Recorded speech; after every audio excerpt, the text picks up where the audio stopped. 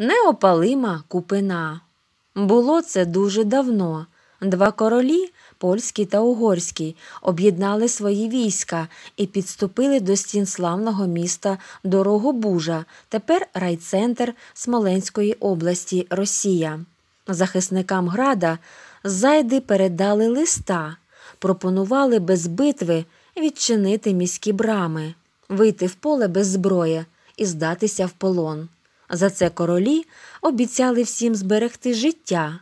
В іншому разі місто буде спалене, і на ласку переможців сподіватися нічого.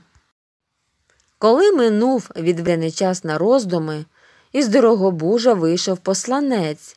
Зайди воїни зустріли його і провели на узвища, де на золочених стільчиках сиділи королі. Я приніс відповідь на ваш лист, сказав посланець, і передав угорському та польському владарям бадилину з листям, подібним до в'ясинового, з блідорожевим суцвіттям на верхівці. Як? здивувалися владарі. Оце і усе? Посланець поклонився. Мені старішини доручили передати тільки це, а ще веліли сказати якщо вам цього зілля замало, то ось довкола вас на пагорбі його цвіте скільки завгодно. Зібрали королі своїх радників і наймудріших мужів. Думали, думали, ніяк не зрозуміють, що саме захисники міста сказали їм цим зелом.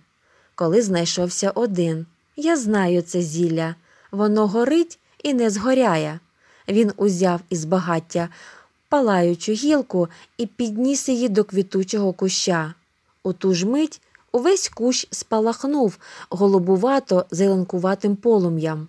Та ще через мить полум'я згасло, і всі побачили, що кущ стоїть неушкоджений, такий же рожевоквітний, усміхнений.